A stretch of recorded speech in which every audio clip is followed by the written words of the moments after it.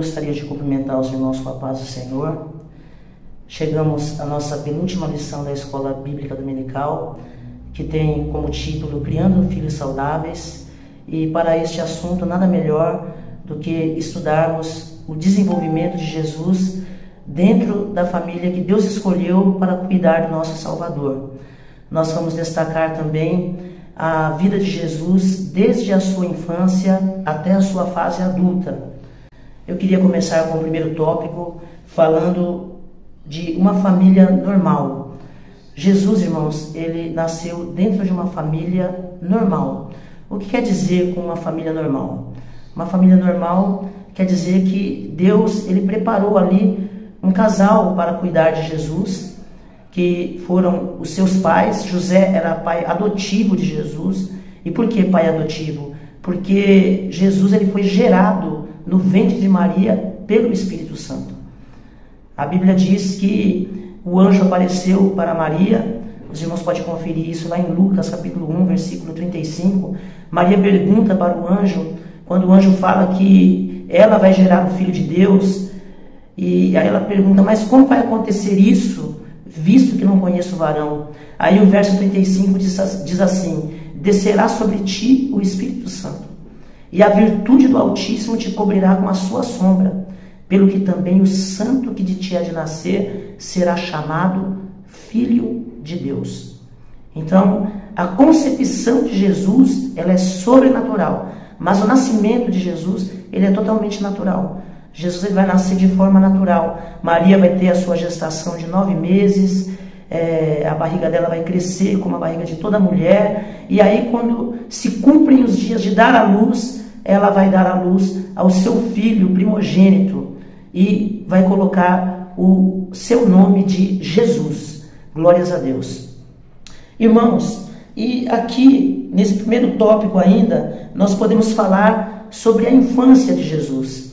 A infância de Jesus, é, ela foi interessante. Logo no comecinho ali, nós podemos ver que é, Jesus, é, José, ele morava ali na Galileia, e a profecia indicava que Jesus ele teria que nascer em Belém. E como Jesus iria nascer em Belém se José morava na Galileia? Nós podemos ver um, um dos atos da soberania de Deus, porque Deus vai mexer na história. Lá no capítulo 2, do verso 1 em diante de Lucas, vai dizer que César Augusto, ele era o imperador naquela época ali. E sendo Sirênio, o governador da Síria, foi feito um decreto. E o decreto foi este: que cada um fosse à sua cidade e se alistasse na sua cidade. E isso fez com que José e Maria subissem à sua cidade. Que cidade? Belém. Porque eles eram da cidade de Belém. Eles eram da descendência de Davi. Irmãos, aqui existe um outro ato da soberania de Deus. Que ato é este? O inimigo ele tentou por todos os meios destruir a linhagem messiânica, mas ele não conseguiu. Veja que é, nós, nós, quando acompanhamos a história bíblica, nós podemos ver que o, o povo de, de Judá, o reino de Judá, eles foram levados cativos para a Babilônia. Né? O reino de Israel, é, quando começou, é, eles eram um reino unido, o reino unido durou 120 anos, mas depois o reino se dividiu entre Reino do Norte e Reino do Sul. E aí depois, mais para frente, nós vamos ver que o Reino do Sul ele vai ser levado cativo para a Babilônia. E esse cativeiro vai durar 70 anos. E depois eles vão voltar para a sua terra. Mas aí depois eles voltaram para a sua terra. E depois o tempo se passou. E aí nós chegamos nos dias de Jesus. E nos dias de Jesus, agora, a linhagem real não é mais aquela linhagem como na época de, do, dos grandes reis de Judá. Né? Não, não estão mais usando aquela indumentária real, aquela roupagem real, não. Ali são pessoas pobres que estão vivendo sob julgo romano, porque eles estão dominados pelos romanos. Mas Deus ele conhece quem é da linhagem de Davi ali, e Deus ele vai unir ali José e Maria, os dois que são da linhagem de Davi. Glórias a Deus. E aí os dois se unem e Jesus ele vai nascer, glórias a Deus, né? Por uma obra do Espírito Santo no ventre de Maria. É quando o governador ali da Judéia, que é Sirênio, ele vai ordenar que todos vão à sua cidade. E aí José e Maria sobem para Belém e se cumpre a profecia que está escrita ali em Miqueias capítulo 5, verso 2. E tu, Belém Efrata, posto que pequena entre milhares de Judá, de ti me sairá o que será Senhor em Israel, e cujas origens são desde os dias antigos, desde os dias da eternidade. Bendito seja o nome do Senhor. Quanto às demais coisas, irmãos, a família de Jesus é uma família totalmente normal. Né? Depois que Maria teve Jesus, por uma concepção sobrenatural gerada pelo Espírito Santo no ventre dela, aí José vai conhecer a Maria. Em outras palavras, José vai ter um relacionamento sexual com Maria e Maria vai ter os seus outros filhos. Os outros filhos vão vir de maneira totalmente natural do relacionamento entre o homem e mulher, entre José e Maria. E aí Maria vai ter mais pelo menos quatro filhos e pelo menos aí, vamos dizer, duas filhas, né? Os quatro filhos são Tiago, Tiago, José, Simão e Judas. Esses quatro filhos. Então, é, Maria teve esses quatro filhos e teve também, pelo menos aí, duas filhas que são irmãs de Jesus. Mas, irmãos, nós podemos ver aí que os, a, a infância de Jesus ela foi uma infância totalmente normal. Jesus era um filho especial, por quê? Porque Maria sabia que Jesus era o filho de Deus.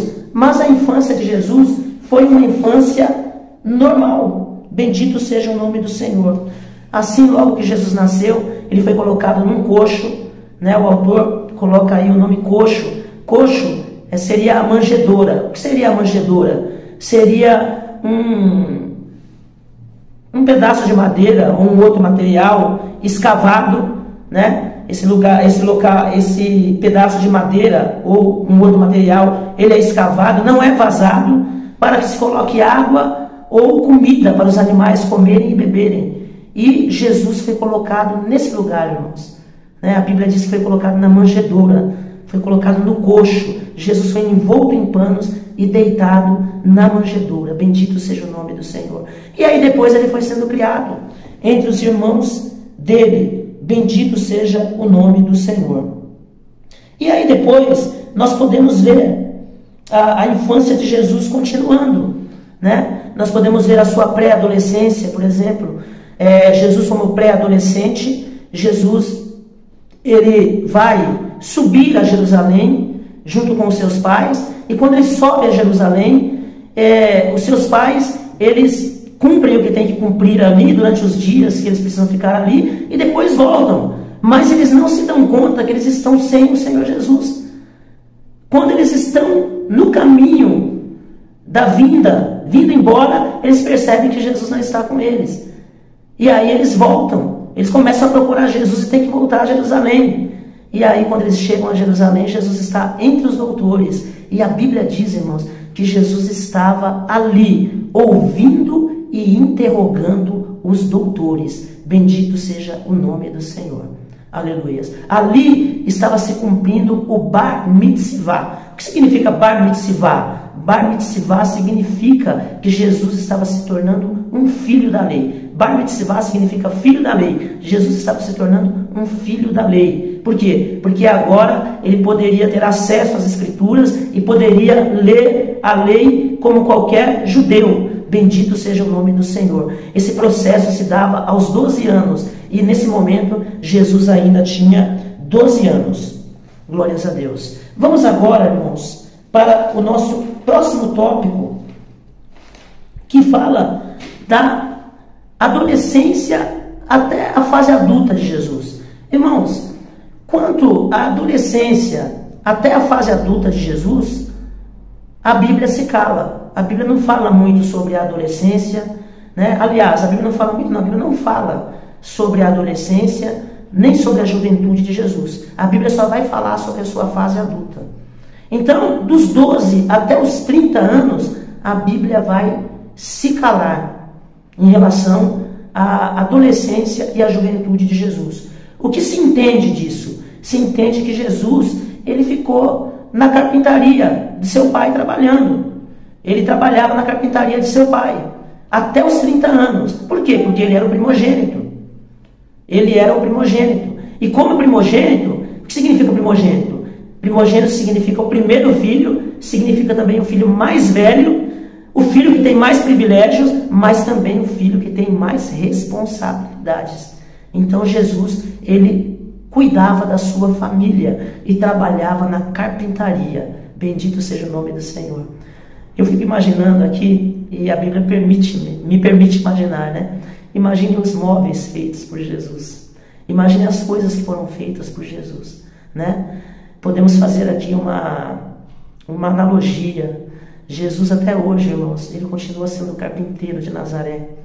E ele continua cuidando, né, das madeiras. Ele continua transformando madeiras que não tem lá muito valor, mas em preciosos móveis. E quando essas madeiras têm nós, tem alguma coisa que atrapalha, tem alguma coisa que, que é muito ruim nela, Jesus tira tudo aquilo e transforma num móvel maravilhoso. Bendito seja o nome do Senhor.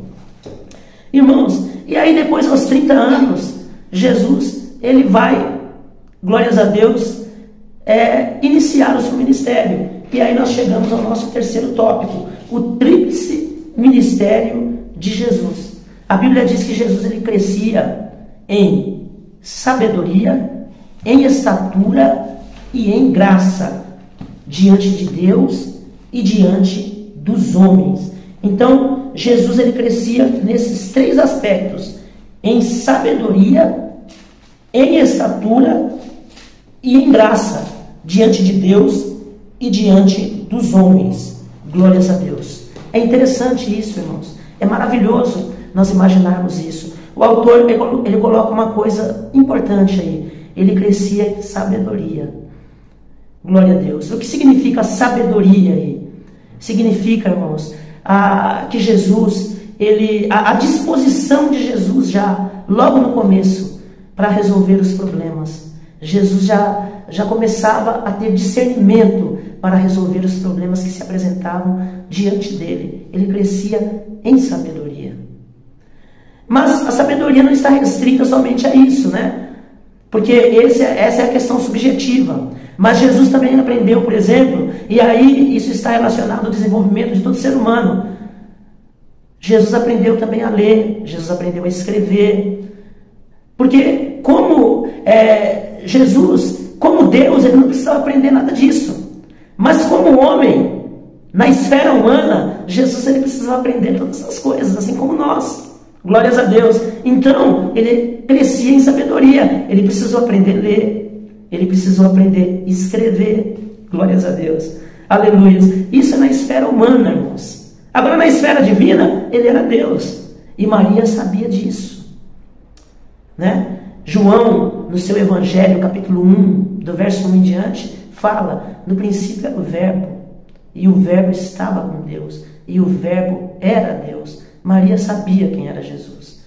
A palavra verbo aí vem de verbo do latim, né, que tem o seu correspondente no grego, logos, que significa o que, irmãos? Significa a palavra criadora.